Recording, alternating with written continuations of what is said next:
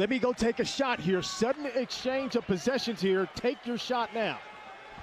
Defense of Southern Miss has been put in a tough spot here. As Narcisse, it's going to be a gain of nine. Did the ball come out? Roy on the field, fumble, recovered by Southern Miss. First down. You see that stat there. Three of their last four conference games they won, and it has been because of their defense. The loss was against UAB. Up the middle, one man to beat. And Southern Miss for a second time this half in the end zone De'Michael Harris with his longest run of the season. Ready. I don't think they were ready to play. You had guys out of position, and then you had people overrunning the play, and just guys just not ready to go, and they cash him for a huge one. Diverse body types and backgrounds in that running back stable these days. Abraham underneath deja vu. They will not catch Quez Watkins. Oh, man.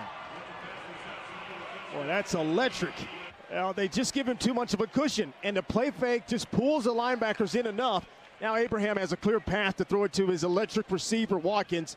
And I tell you what, there's not a. So, for the first time today, Roadrunners trail by two scores. Tip drill. It's up and picked.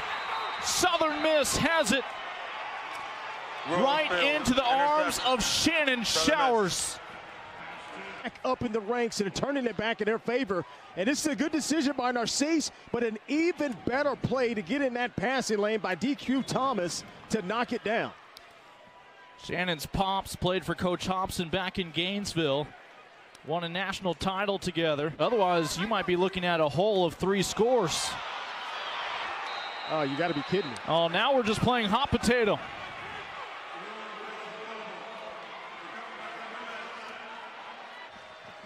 Back in Roadrunner territory.